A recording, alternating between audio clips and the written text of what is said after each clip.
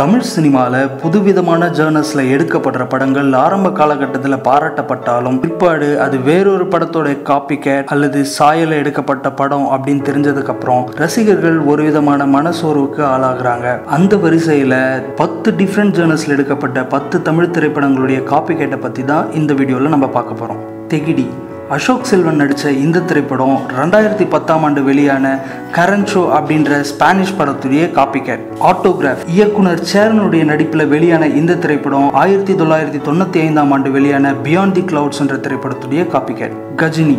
இயக்குனர் முருகதாஸ் இயக்கி சூர்யா நடித்த இந்த திரைப்படம் ரெண்டாயிரத்துல வெளியான மெமெண்டோ அப்படின்ற திரைப்படத்துடைய காப்பிகேட் தாண்டவம். விக்ரம் நடித்த இந்த திரைப்படம் ஜட்டாய்ச்சி என்ற ஜாப்பனீஸ் படத்துடைய காப்பிகேட் சரோஜா. பிரேம்ஜி உட்பட பலர் நடிச்சிருக்கிற இந்த திரைப்படம் ஆயிரத்தி தொள்ளாயிரத்தி தொண்ணூத்தி ஒன்பதாம் ஆண்டு வெளியான ஜட்மெண்ட் நைட் அப்படின்ற திரைப்படத்துடைய காப்பிகேட் நந்தலாலா. இயக்குனர் மிஷ்கின் இயக்கி நடிச்சிருக்கும் இந்த திரைப்படம் ஆயிரத்தி தொள்ளாயிரத்தி தொண்ணூத்தி ஒன்பதாம் ஆண்டு வெளியான கிகுஜ்ரோ என்ற ஜாப்பனீஸ் படத்துடைய காப்பிகேட் அடுத்ததாக மாஸ்.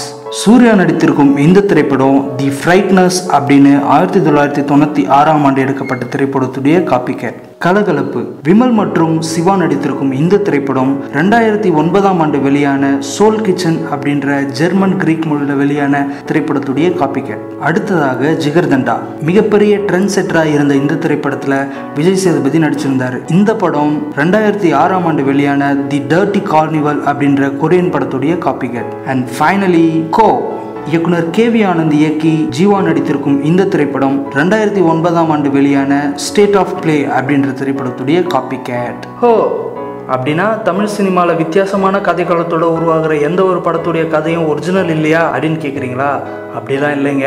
ஹாலிவுட்டே பார்த்து மிரள்கிற அளவுக்கான கதை அம்சத்தோட உருவான படம்லாம் தமிழில் இருந்திருக்கு. ஸோ அதை பற்றிலாம் அடுத்த வீடியோவில் பார்ப்போம். இந்த வீடியோ உங்களுக்கு பிடிச்சிருந்தா லைக் பண்ணுங்கள் ஷேர் பண்ணுங்கள் கமெண்ட் பண்ணுங்கள் மறக்காமல் நெட் டிவி ஃபார் சேனலை சப்ஸ்கிரைப் பண்ணிடுங்க.